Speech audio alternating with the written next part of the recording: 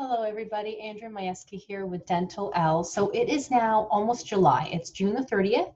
My practice has been open again after COVID for I'd say about three weeks now. I would say the beginning of June, right? So yeah, we are we are we are almost at a month, and so this is what's happening. So a lot of patients ask me, "How is your business doing? Like, how do you find?" All of this PPE? Are you okay with all of this PPE? Are things a lot harder for you? Like, what's going on? Um, um, students asking me the same thing other dental hygiene professionals asking me the same thing because there are still a lot of dental hygienists out there that cannot work because if they work for a dental office that doesn't have enough PPE, you cannot work.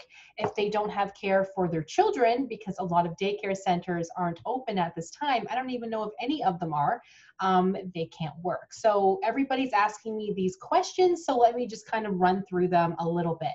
I am spending a lot more on PPE. For example, I just ordered more KN95 masks, $25 for like a um, $25 each basically. Um, and there's not enough to order a lot of them. So I basically have to order like a three week supply at a time and go from there. $25 a mask, okay? Crazy. We need to buy things now like hair caps, face shields, which I just bought some more of um, um, disposable gowns, where a gown used to be two to four dollars each, which is still a lot of money.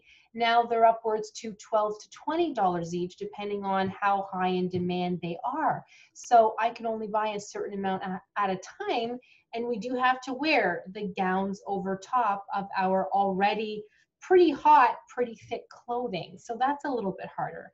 But other than PPE, a lot of things are staying the same. We are obviously still disinfecting everything. We are still sterilizing everything. That is nothing new. And I tell that to all of my patients also. I say, you know, we were very careful before. We had practiced universal standard precautions, meaning we treat everybody as if you're highly infectious because people don't always tell us everything, right? They might not tell us that they're highly infectious of something, or they might not even know. So that hasn't changed. Um, I did purchase an air purifier for my home office. I do still wait though three hours in between patients. I don't necessarily have to with the air purifier, but I feel it just makes patients feel more comfortable to wait that amount of time um, just to get all of those particles out in the air that might be there have net uh, like aren't there anymore after the air purifier. Um, plus, it gives me time to take my notes to really make sure to disinfect, sterilize everything, which we had been before anyway, but that's just something that I'm currently doing to give patients kind of that peace of mind. I, I did purchase the no touch thermometer to be taking temperatures on my patients. I did also purchase the, the oximeter I hope I'm saying that properly, oximeter. That's that little clip that goes on the finger to measure your oxygen saturation level. So if you have COVID and don't necessarily know it yet, your oxygen saturation level will be a lot lower. So if I'm seeing a patient where it might say 80 and not 90 or 99, hmm, I might not treat them because, hmm, let me take that again. Because if the number is too low, we cannot treat them because it could mean they have COVID. So that's just another extra test that I have been doing.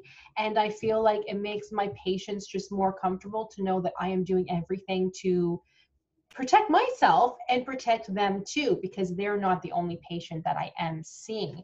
I'm not seeing as many patients a day as I used to just to allow for that extra time. But if I'm going to a patient's home, I'll typically see two households a day. The nice thing about going to patients' homes is it's almost it is safer for them because they don't have to leave the house, they don't have to come into my office.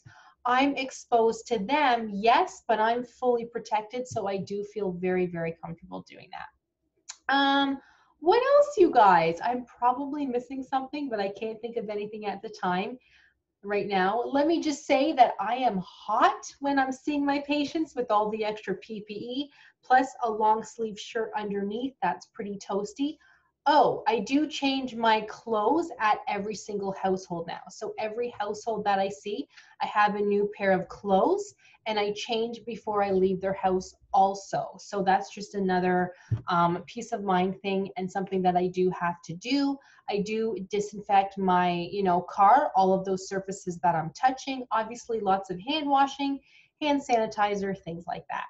So I'm sure I forgot something, you guys. Please comment below, let me know, and I will see you guys in the next one. Thank you so much for watching.